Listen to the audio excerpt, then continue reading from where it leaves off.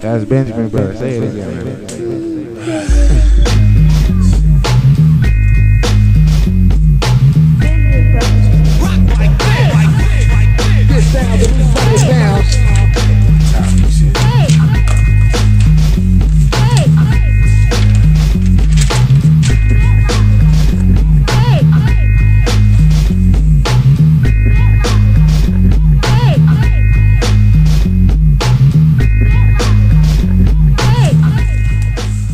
Folks? It's your boy Inky Mann. As usual Inqronicles. Let me see, what is it? This second Sunday in January. I don't feel like telling the date. Let me see. Let me let me let me let me let me, let me, let me not be lazy.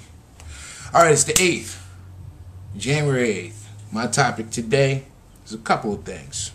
One of them is Facebook. Facebook destroys lives. No, I'm not gonna be the one that's not gonna. I'm not gonna swear off Facebook because I like Facebook.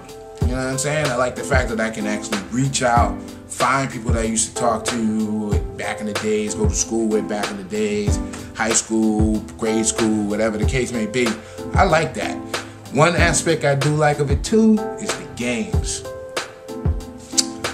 Now, here's my thing. I love Facebook games. I love games, period.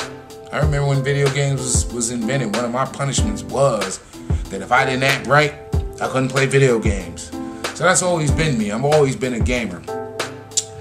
My favorite games right now, Cafe World, Empires and Allies, and I just, just, I mean today, got on um what's this game here? Uh Mafia Wars 2. Oh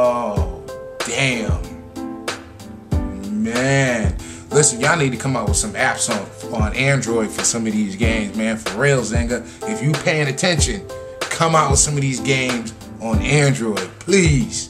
So anyway, so I'm digging those games. I got many people on there that I'm friends with, and I'll be tagging you somewhere along the bottom or whatever the case may be, so that you know who you've been playing with, you know.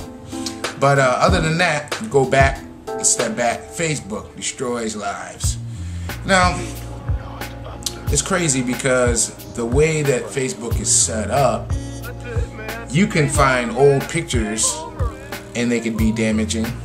You can see new pictures and they can be damaging. But it's just a, a it, it's it's amazing how just the way that it's set up uh, puts a lot of people into into jeopardy. You know what I mean?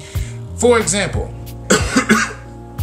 hanging out with a friend, hanging out with some friends, and you take pictures and they tag you in it. Wow.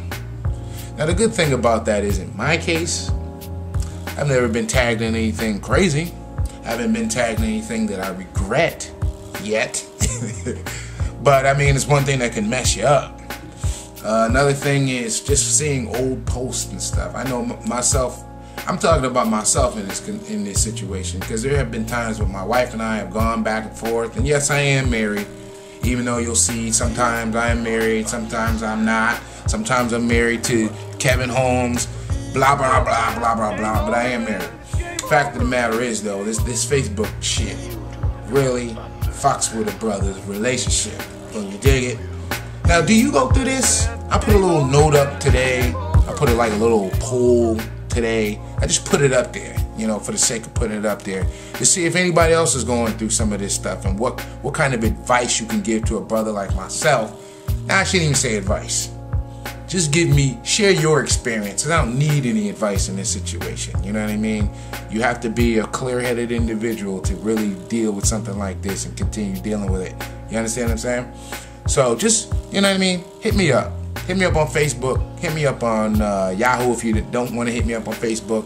Inqronicles, I N Q R O N I C L E S at yahoo.com. Um, let me know your own experiences if you don't mind.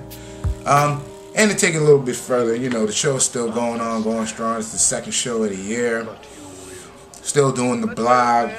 Um, I don't know if you could tell, but basically what I do with this show is I turn the camera on. The Sometimes I write down topics. And I just get to talking. deal. Uh, let's pretend like this never happened.